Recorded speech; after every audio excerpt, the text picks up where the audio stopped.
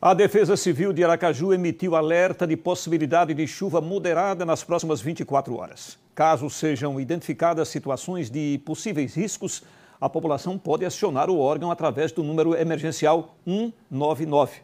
Vamos então agora saber como fica o tempo amanhã aqui em Sergipe. Em Aracaju, a terça-feira será de sol com muitas nuvens. Período nublado com chuva a qualquer hora. Temperatura mínima 22, máxima 28 graus. Em Itabaianinha será com sol e aumento de chuvas pela manhã. Previsão de pancadas de chuva tarde e à noite.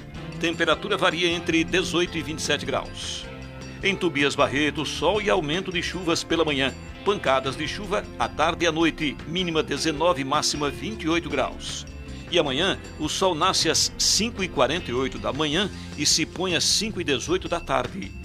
A velocidade dos ventos será de 12 km por hora. Vamos agora às informações da tábua de maré na capital. Nesta terça-feira, maré alta 1h34 da tarde 1.8, maré baixa 7h24 da manhã 0.6.